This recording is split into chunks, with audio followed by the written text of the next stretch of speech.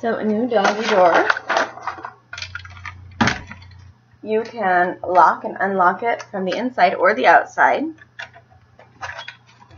And it will go either way. This is thin because it's meant for a screen door. See how it works.